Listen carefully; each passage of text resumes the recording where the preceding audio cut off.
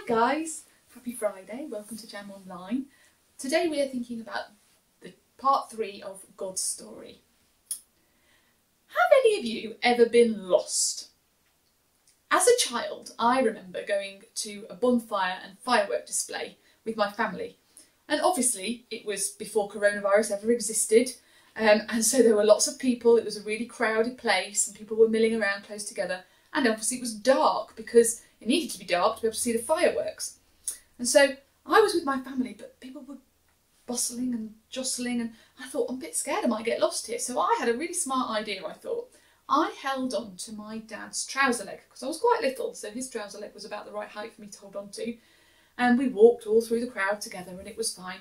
And when we stopped, ready to watch the display, I looked up to make a comment to my dad. And shock horror, it wasn't my dad. Oh my goodness.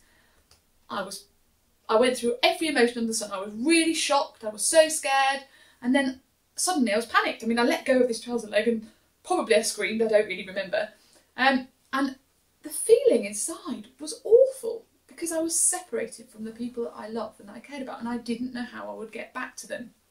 As it turned out, on this occasion, my family were really close by, just round. They just got pushed around a few other families, and they were. And the man that I was holding onto his leg was a very kind man. He was a daddy too, and had to his children the other side of him, and he helped me to find my mum and dad in in just a few moments.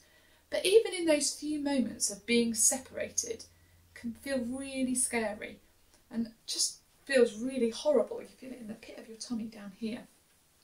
And in our story last week, we were thinking about Woody from Toy Story 2. And he had been separated from Andy because he got broken. His arm was broken and he got put up on that high shelf, didn't he? And that's where we left him. And he was feeling really sad because he couldn't go off with Andy to play and to school and things like that. But his story was about to get even worse. You see, they decided to have a yard sale, which is a funny American word, but it's a bit like having a car boot sale. But instead of going off in your car somewhere, you just put toys and things that you don't you want to sell outside the front of your house. And that's what they decided to do. They put all the things that they didn't want anymore um, outside the front of their house and to sell. And Woody accidentally got put out on the table to be sold. Now, luckily, when the man came along and said, Oh, I'd like to buy Woody, please, how much for that? Mum realised the mistake and put Woody to one side. Said, oh no, it's been a mistake, he's not for sale. However, unfortunately, Al, the character who wanted to buy Woody, was kind of the baddie in Toy Story 2. He decided to abduct Woody and take him anyway, without permission. And at that point, Woody got taken off to Al's toy barn, where Al was, and he was separated from Buzz, from all the other toys, and worst of all, he was separated from Andy, his little boy, who loved him. And Woody felt awful. He was panicked, he was trying to work out a way to get back, and he, he was just absolutely terrified. It's kind of the low point of the movie.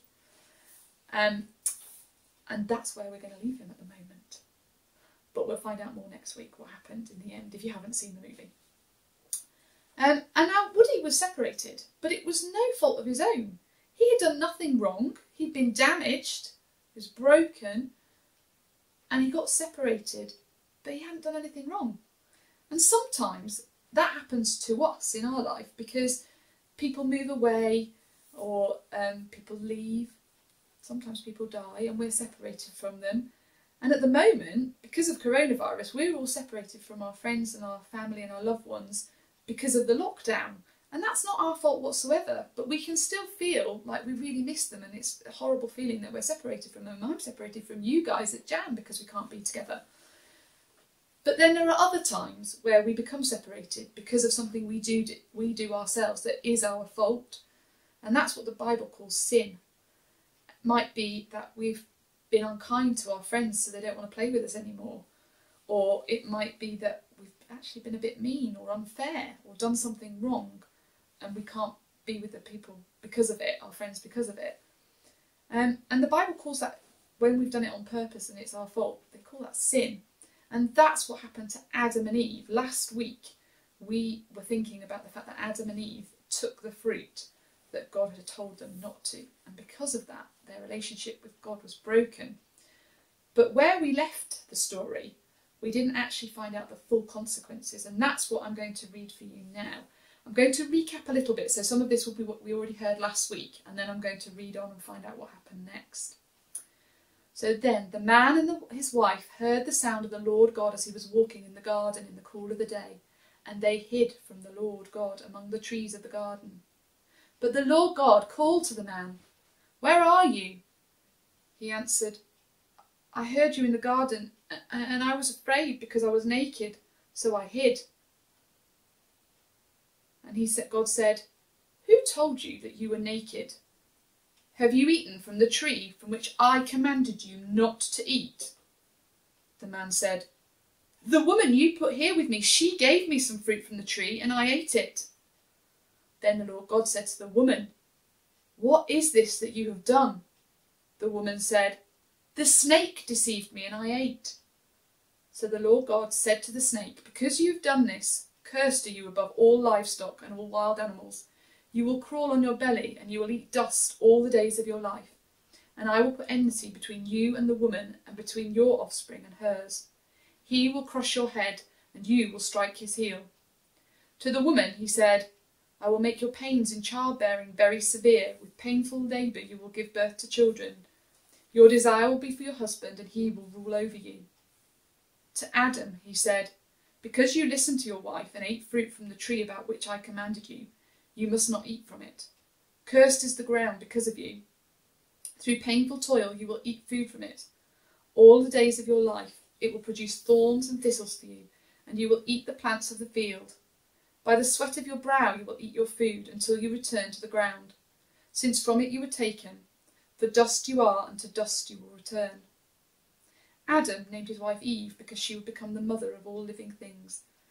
The Lord God made garments of skin for Adam and his wife and clothed them.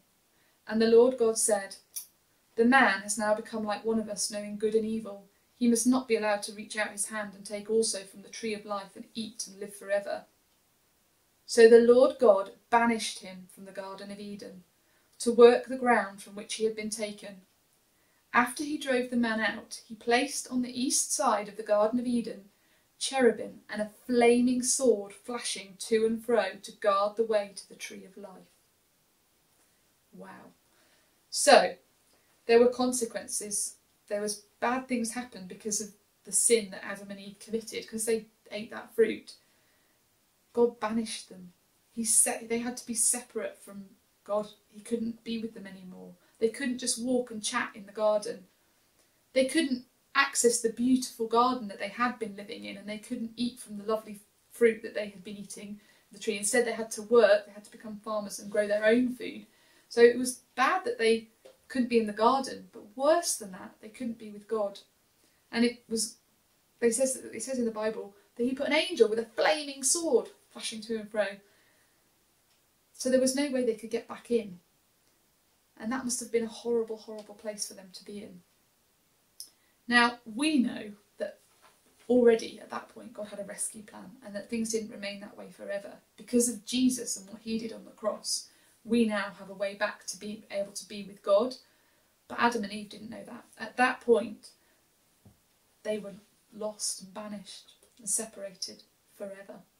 And for a long time, the whole of the Old Testament, people no longer had direct access to God because of that one thing that they did It's pretty awful, isn't it? But I don't want to end it there. Next week and the week after, we are going to look at God's rescue plan. So we will move on to look at that. Um, and I want to leave you with a positive verse, okay, because of what Jesus did. It says in Romans, Who shall separate us from the love of Christ? Romans 8, verse 35. So we know that because of Jesus, we can never be separated from God again.